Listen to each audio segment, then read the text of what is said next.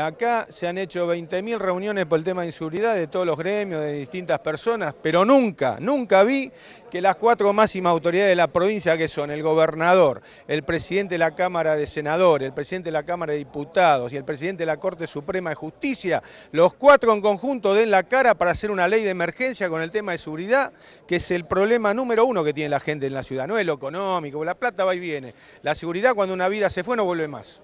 Entonces esas cuatro personas son los cuatro máximos responsables de la provincia en el tema seguridad. Y son ellos los que tienen que dar una respuesta de una ley, aunque sea una ley de emergencia y una ley especial que contemple la seguridad de todos los ciudadanos. ¿Usted calcula que cómo se pondría en marcha? ¿Cuál sería el mejor método, el mejor modo? tienen que hacer una ley de emergencia. Yo esto lo aprendí en la provincia del Chubut. En la provincia del Chubut se robaban ovejas. Se robaban ovejas porque hay campos enormes y la gente venía y se robaba las ovejas.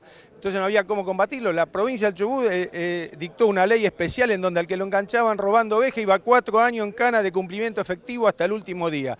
No se robaron más ovejas. Quiere decir que se pueden hacer las cosas, pero tiene que estar la voluntad política de los que mandan y son estas cuatro personas las máximas autoridades políticas de la provincia. Hay mucha resistencia a algunas medidas que fueron aprobadas en el Consejo, como el blindex, eh, incluso la tarjeta eh, sin contacto para que se pueda eh, sacar el dinero en efectivo de los coches. En su caso, ¿qué dice?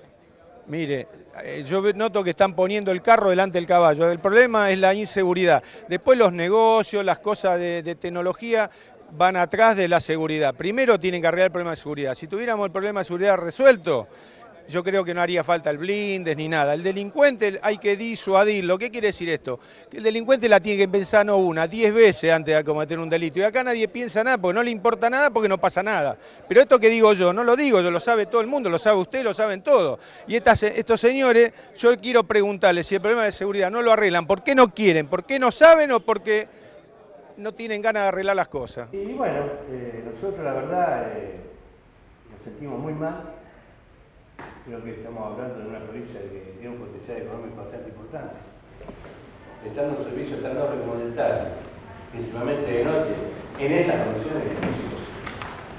Es imposible. Porque tenemos que. Pero, pasamos a ser más y, y,